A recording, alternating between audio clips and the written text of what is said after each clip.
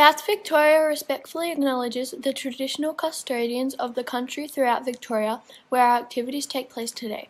We pay our respects to elders both past, present and emerging, and continue to recognise and embrace the important continuous history and connection to land and community of Aboriginal and Torres Strait Islanders people. Welcome to Scout Quest, everyone. I'm Pete from Second Hawthorn Scout Group, and I'm a Venturer Scout. Tonight, we are excited to catch up with Savan from Headspace and Bendigo Community Health to talk to us about Are You OK Day, which is today. A conversation can change a life. Are You OK Day was created to inspire and empower people to have meaningful connections with the people around them and start a conversation with those in the world who may be struggling. You don't need to be an expert to reach out, just a good friend and a great listener. Use these four steps to prompt you to have a conversation that could help change a life. Ask the person if they're okay. Listen, be an active listener and make sure that you're willing to listen to them. Encourage action after you have listened to them. Check in from time to time and make sure that you stay on top of being with them. Let's welcome Sivan to talk to us about Are You OK Day today. Thanks for joining us, Sivan. Hi, Pete, and hello, everyone. Thanks so much for inviting me to come along and talk to you all tonight. Um, I'm super excited to be here. Great. Let's get started, Sivan. Yeah. First thing is we'll just do a little bit of housekeeping just to get started. So, firstly, if today gets too much, it is really important to talk to someone or get support following this talk tonight. And secondly, if you need a water break or just a break at all, please free to do so at any time. And thirdly, we'll have time for questions at the end. So if you have any throughout, just keep them in mind and you can ask them at the end and we will answer them as best we can. So what we are going to be talking about today is is we're going to be talking about Are You OK Day, which is um, today, which is really exciting. And second is how you can ask a friend if they are okay. Thirdly, Headspace services and what um, Headspace is. And fourth is how you can look after your own mental well-being. So that's what we're going to be chatting about today. So a little bit about me before we get into further topic today is I'm a health promotion officer at Bendigo Community Health Services or BCHS. Um, that's located in Bendigo. I also work with the whole community and especially young people and help them with the, not only their physical health, but all aspects of their health, so their mental, mental as well. My job is super awesome because I get to work with so many different people, including Headspace. My work and Headspace, we work together really closely in Bendigo to support young people and their mental health. I will talk a little bit more later about Headspace and their services and what they provide to young people in Bendigo and Australia wide. So, I also enjoy spending a lot of time with my friends and family, and I also have a dog named Ivy. I live in Echuca, which is the Yorta Yorta country, and you can see there on the slide picture of the um, Murray River, which I live near.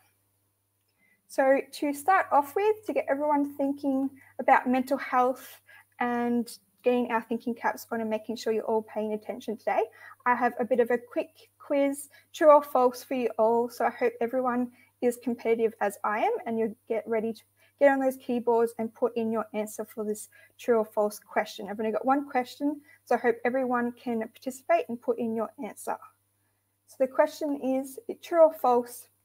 Asking for help when you are feeling down or struggling is bad for your mental health. So, hope you can all put it into the chat. Your answer, true or false? Asking for help when you're feeling down or struggling is bad for your mental health.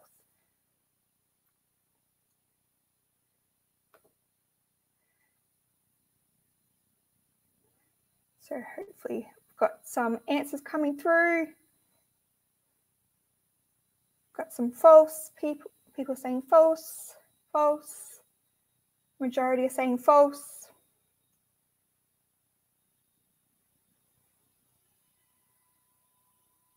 That's really good to see all everyone's answers. Lots of answers coming in. Majority are still saying false.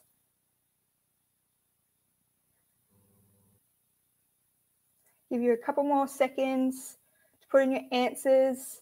What do you think? True or false? Asking for help when you're feeling down or struggling is bad for your mental health. A lot of false, which is good. So drum roll, please. The answer is, the answer for this true or false question is false. So asking for help or speaking to someone is really important for your mental health. It is especially important if you're feeling anxious or worried or sad. Just talking to someone can be really helpful and make you feel a lot better. Good, great to see everyone putting in the answers. So we're going to talk now about Are You OK Day, which is today. So today is National Are You OK Day. You may have seen a lot of yellow around today. People may be wearing the colour yellow, or there might be just some events happening, whether at your school or around your community or your town. So Are You OK Day is a charity um, whose mission is to inspire and empower everyone to connect with the people around them and lend support when they are struggling with life. Their tagline is A conversation can change a life because having a meaningful conversation can help people through difficult times in their lives. The research done by Are You OK Day has shown that conversations can make a difference when someone is struggling.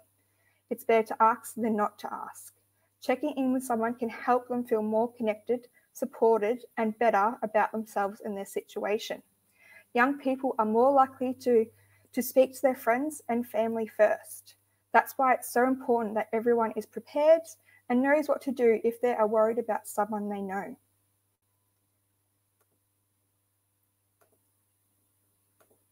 So when to ask, are you okay?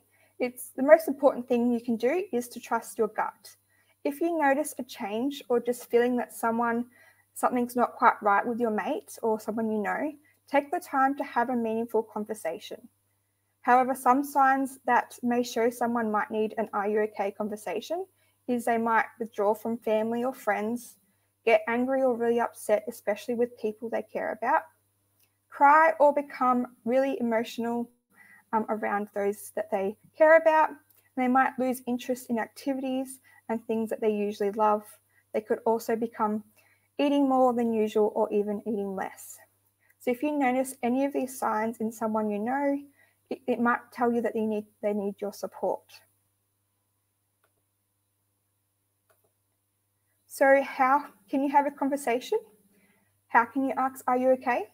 It can be really hard to ask someone how they're feeling, but by just asking and being there for someone to, to, to talk to and can, can do a world of difference for that person who may be struggling.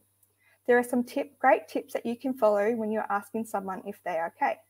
As you can see on the slide, the, the steps are first, ask, Are you okay? If it's um, in a comfortable place, you can ask the person either online or face to face and just start by asking either, How are you? Um, I've noticed you're not being yourself lately. Is everything okay? The second step is to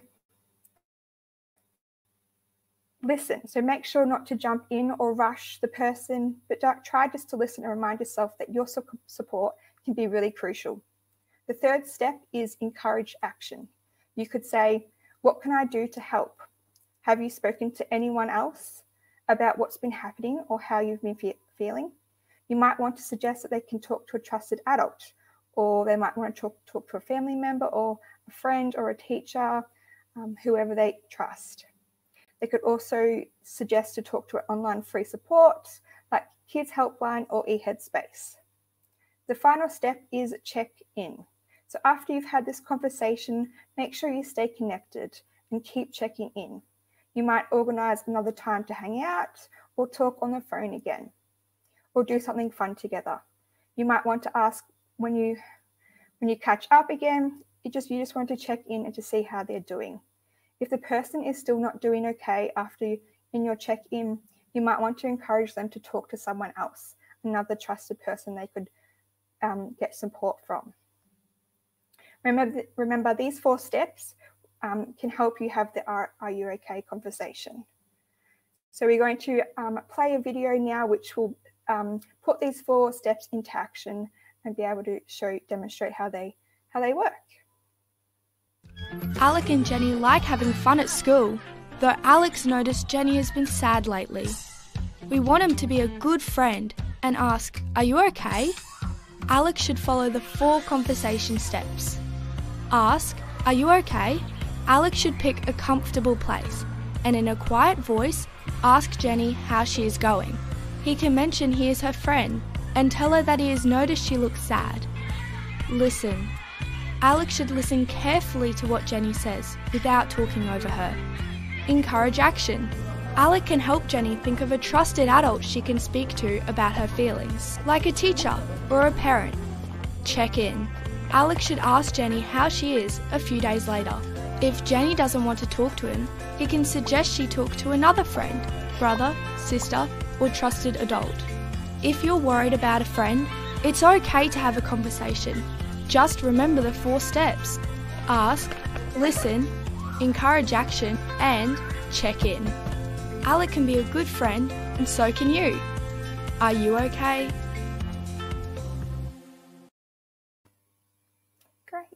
So, um, if you want more information about Are You OK Day or to see more of their videos on tips of how you can have the conversation, um, you can visit their website at www.areyook.org.au. So we're going to move now um, along to what supports are available to young people um, across Victoria. So there are a number of supports, including Kids Helpline, which I know that you've had a few um, Scout Quest um, around Kids Helpline um, at the start of August, which is great. Another support available for young people is Headspace and eHeadspace. Um, the number of the Headspace Bendigo is um, on the on the slide there, and also for the eHeadspace um, number is there as well. So I'm going to talk a little bit more about these two amazing services available to young people across Victoria and Australia. Um, in my role at Bendigo Community Health Services, I have the privilege to work alongside lots of the Headspace staff in Bendigo and be able to go to events and help the community and do a lot of education with them. So it's really good. Um, yeah. So, what is Headspace? So, Headspace is a national youth mental health foundation. They provide mental health support to young people aged 12 to 25. Headspace Bendigo is operated by BCHS, so Bendigo Community Health Services. Um, Headspace can support young people with counselling, um, group programs, community events, and activities. They also provide mental health education and support groups, and Headspace centres are located all over Australia. So we have a video to show you of what the inside of um, Headspace Bendigo looks like. So we're going to play that for you now. Hi everyone, it's Belle here from Headspace Bendigo. Welcome to our centre. Follow me inside and I'll give you a tour.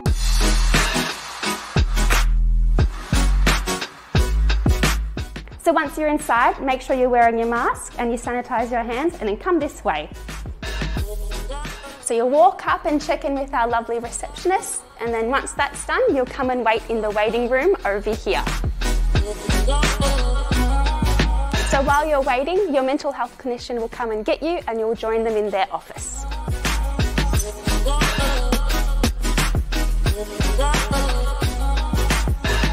We have six different consult rooms which are all fresh and bright and have different furniture in them for you.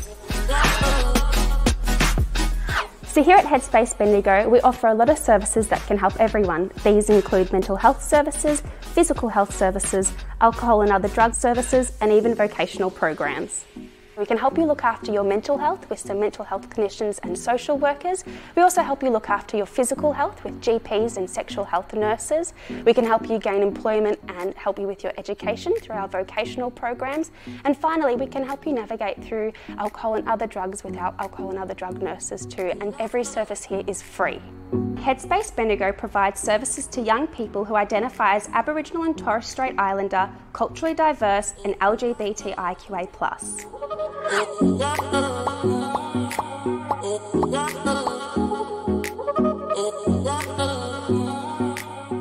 All services at Headspace Bendigo are confidential, and what that means is that the, what you discuss with your Headspace worker stays between yourself and the Headspace worker, unless we think that you have some safety issues, in which case we'll talk to your parents, teachers, or trusted guardians.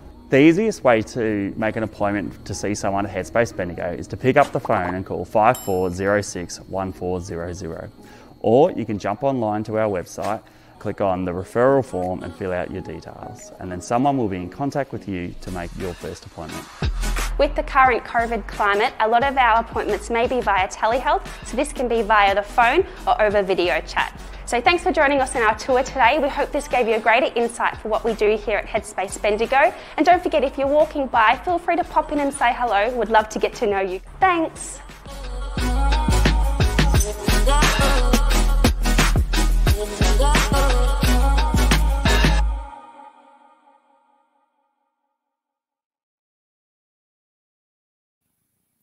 Great, so that was just a little video to show you what the Headspace Bendigo Centre looks like.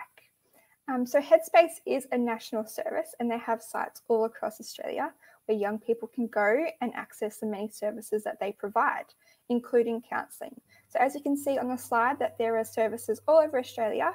And if you want to see if there's a Headspace near you, you can visit their website and use the locator.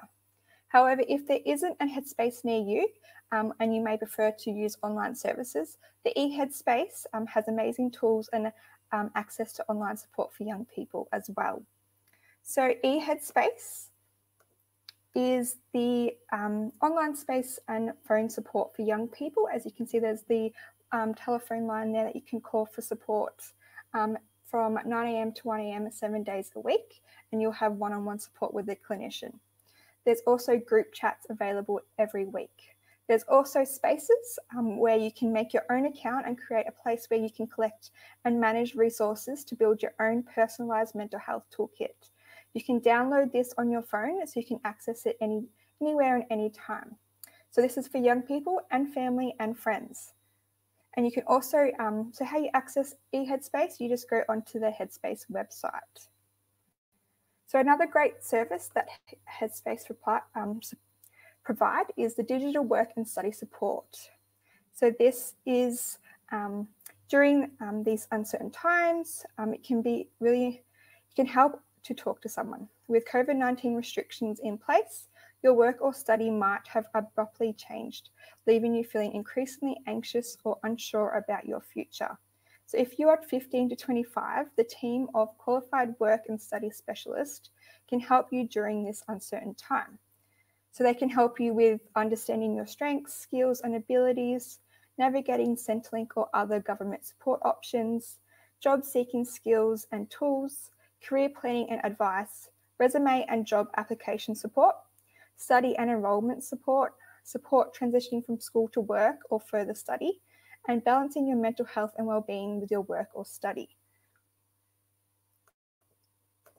So Headspace also provide um, a service um, so they have GPs, so doctors um, in every site, in every Headspace site.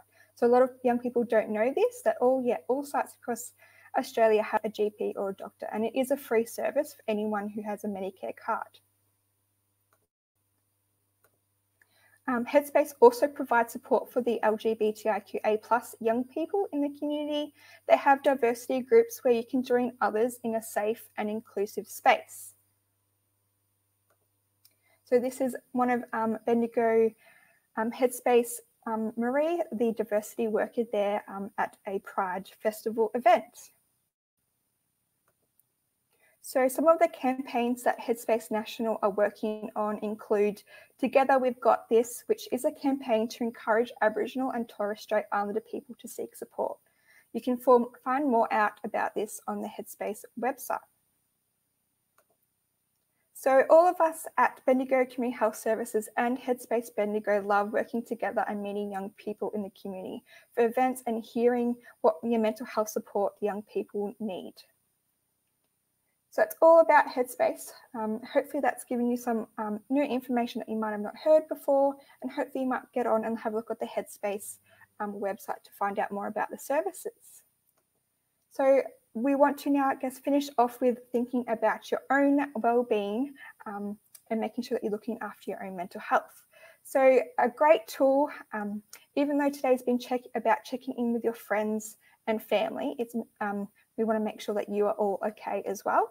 So it's um, this is a great tool that you can use. It's called the Five Ways to Wellbeing, and it's a great tool that you can use anytime um, to help improve your mental well-being and improve your happiness and, the, and the, get those feel-good emotions.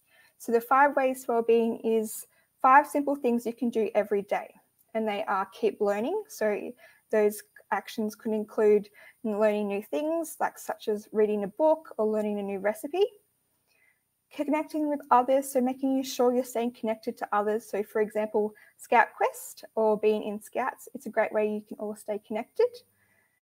Give, so giving back to others is great for your own mental health. So you can help your parents maybe with cooking dinner or helping a neighbor or even just a small act of kindness to a stranger.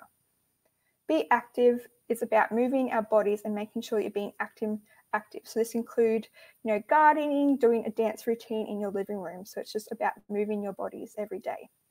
And take notice.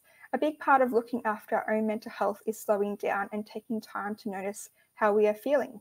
So you might want to do some meditation, listen to music, do mindful coloring. It's all about being in the moment. So these five ways you can do every day, and if you do them all together, they will help your mental well-being and also um, help you feel good and happy and live longer, which is really good. So I want to challenge you all here today to do the five ways in the next week. So I want you to all write down the five ways and list in the next week what you do under each of them.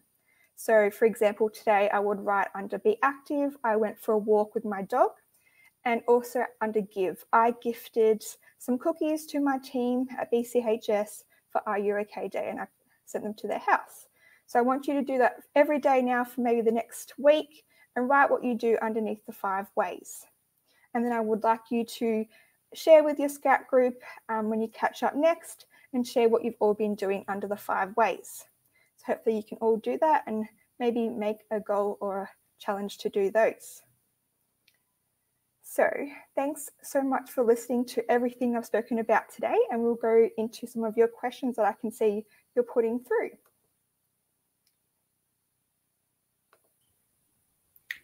Yeah, awesome, Siobhan. Um, thanks a lot for that. So we've got some awesome questions that have popped up in the comments section um, of this live event. Um, we'll just go through a couple of these questions um, and yeah, go from there. So uh, we've got a couple of questions popping up like, um, is there a central contact number that people can contact to contact Headspace? um, outside of the Bendigo region. Yes. So I might hand over this to, we've got lovely Haley here from Headspace Bendigo. So I've brought her in to answer some of those more Headspace related questions for you all. Thank you, Siobhan. So the best way to access the nearest centre to you is um, the website for Headspace and go to the locator map and then you can put in where you are, and that will bring up the nearest headspace centre for you. Um, if you do have any problems, ring any of the other centres and they'll be more than happy to direct you to the closest centre. If you are too far from a centre to access, they'll put you onto eHeadspace where you can still access support with a counsellor. Awesome. Um, and there's another question here. Um, is there a maximum amount of times that you can make an appointment um, as a young person to access Headspace resources? Yeah, so Pete, the, what they do, they'll do their initial intake appointment when you ring up making a referral. A lot of the centres do have a self referral form which you can find on the website. Um, most of the appointments that you'll have will be your first initial intake appointment, and then depends on um, you know, what you do need with your care and support, how many appointments you do have, and then what the clinician at Headspace will do, they'll refer you on to other services that are beneficial to help support your mental health and well-being. It could be social prescriptions that our GPs love to actually um, provide for you, and that could be going to a gym so you're getting exercise and connecting with other people too. So We've got GPs and counsellors, but we're also aware of the other great things that you can do to help with your mental health and well-being. So there's no limit to the appointments. Um, but we do look at you growing and utilizing the skills and the tools that we provide you, and we'll refer you on to some other places where you can actually help support yourself as well. We've got another question that's popped up here. Um, what other events throughout the year, similar to R U OK? Day, is there to promote um, mental health awareness within the community? Yeah, that's a really great question. And um, there's actually a massive, um, I guess, month, year, and day coming up for mental health. So October is Mental Health Month, and there's also a week within um, October, which is Mental Health Week. And there's also Mental Health Day, and there's also Headspace Day within um, October as well. So there's lots of opportunities where we can keep continuing um, promoting mental health awareness. We'd love to stay in contact with you all and send out some information how we're going to celebrate Headspace Day this year. Wednesday, the 6th of October, is the day that nationally we all get together and celebrate the wonderful service. So we'll stay in contact with you all so we can stay connected and um, talk about the different things that we can do to celebrate the great service, but also celebrate the wonderful young people that we have that we care about as well. Joanne really liked the poster that you guys had up on the presentation, um, and she's wondering if you can download it or print it. Yes, for sure. I will um, figure out a way that I, uh, um, it can be available on ScoutQuest or on the Facebook. Um, I'll share that with everyone so you can download and print it and keep it for your own resource. Yes, definitely. Cool. Um, is there a way that a young person can get to a headspace center um, if they're unable to get transport to a center? Um, and is it okay if they take a friend in with them as well for support? Absolutely. If you can't get to the center, we have telehealth uh, available so they can ring up and have a chat like this. So that's available all over Australia. If you haven't got a computer, we'll offer a telephone call for you. And we do encourage you to bring your family and friends along with you. We have a lot of connection with family and friends to support them and guide them through the, the support the young people need. But it's always great to bring a friend along because sometimes, even with the first appointment, you could have the appointment and you'll walk out and you'll say, I've forgotten everything they've said. So it's always good to have a good mate there just to help remember everything and take down some notes for you. So we absolutely encourage that. Awesome. Um, and Rebecca's asking um, Are there resources that leaders of scout groups can use to support youth?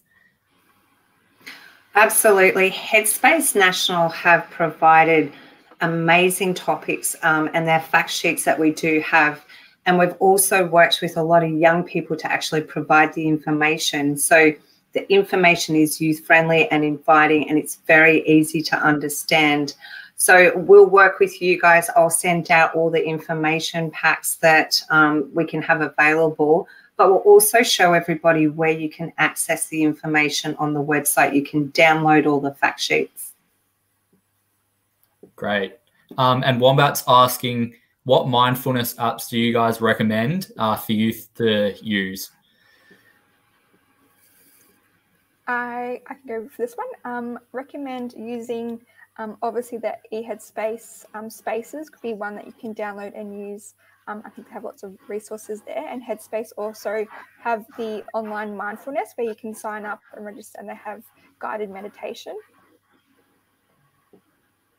There's also awesome. another great one called Calm, and a lot of a lot of young people like to use that one as well.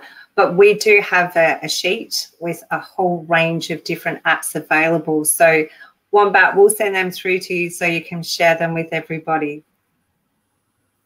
Great. Um, Dan's asking, can a youth person reach out and ask for help if they don't have a parent um, for support? Absolutely. So we do encourage all young people to reach out, especially if they don't have parental support. Um, bring a friend along with you, as I said as well. All the appointments are private and confidential. But in the video, as you would have heard Lindsay talk about, um, it's all private and confidential. But if we feel as though you are at risk of harming yourself or someone else, we will have to intervene and get someone else to help support and guide along the way. Great. Um, Christy's asking how a young person can support a friend if they're going through a hard time. Yeah, so what we spoke about today, I guess, kind of covers that. So um, just being there and listening to your um, your friend is really important, even if um, you know not much comes out of the conversation. Just being um, being there for your friend is a really great thing. But you can always encourage your friend to seek support from another person, whether it's an adult, um, maybe your your scout leader, it could be a family member. It's just trying to get extra support um, in case you do need need that. Awesome. And for the last question, Savan, um, what can a young person do to support um, a peer um, if it's a very challenging situation? Yeah. So again, they could always refer to um, any of those um, support services. So you might maybe suggest that they go to Headspace, and you might even suggest that they you go along with them um, to look at those services like Headspace or even Kids Helpline um, maybe doing that together could be a way that you can support your peer. Great stuff. Um, well, Savan, thank you very much for joining us tonight. Um, I think all the scouts this week should really go away from this live event and ask five friends or close relatives how they're going and if they're okay. Um, but once again, thanks a lot. And yeah, we really appreciate you being on the live event. Yes, thank you so much for having me. Hopefully, it was a good session for you all. Awesome. Thanks everyone for joining us tonight. This Saturday at 2 p.m., Scout Quest will be hosting Scout Ambassador Peter Hitchener. Make sure you join us for uh, what what it's like to be behind the scenes of um, Channel 9 um, and what it's like to be a news journalist and what the career is like. So Peter Hitchener will be um, on for that live event to take all your questions. So make sure you're at the live event this Saturday from 2 p.m. Thanks everyone once again and enjoy the rest of your day. See ya.